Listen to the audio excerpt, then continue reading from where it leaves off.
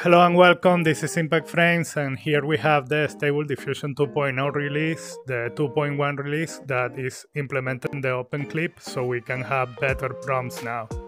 We can have more complex prompt with negative prompts, and here we also see like they they improve the the styles for the for the model and also like uh, wide aspect ratios that can be used now and we have uh, also better compositions. So we're gonna go to the Hugging Face and download the the prune the prune only model and also get the YAML files from this kit. I'm gonna link everything in the description.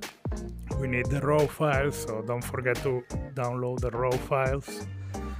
And once we have them, we can move them inside the inside the models in the stable diffusion local installation. So we're gonna move them there and just change the YAML names for the checkpoint names.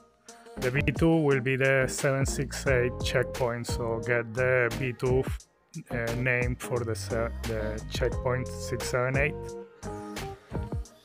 Uh, 768, I mean. And now we are going to go also into the into a batch into a batch uh, file for launching stable diffusion and change one parameter for uh, no half so just write it there. I'm gonna put it on the description too. So it's hyphen hyphen no hyphen half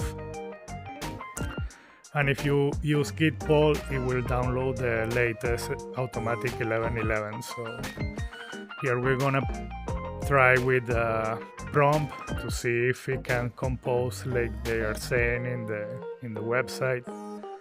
I try an Aesop fable that the rabbit and the hare and the tortoise race, but it didn't come up well. I didn't like the result. It's like, but it's maybe maybe my prompt is not perfect. So now I'm gonna try with a smaller prompt, one subject like a rabbit, a children illustration book, or an Aesop fable, and it's coming quite good. Like almost every single automatic generation that I select there, it comes uh, almost perfect. So it's like 8 out of 10 are coming perfect here, so I like it very much.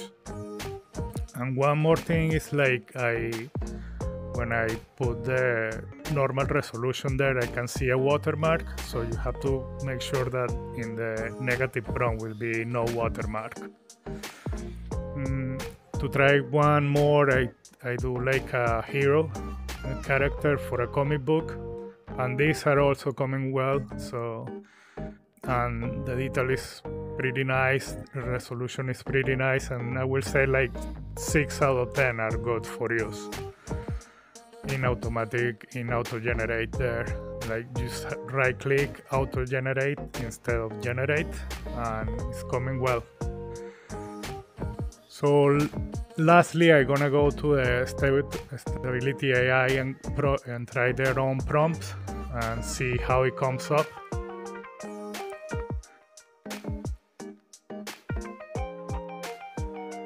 and i will say this one's came out really well in even with the default settings. I didn't change many things here. You can put uh, more steps and stuff.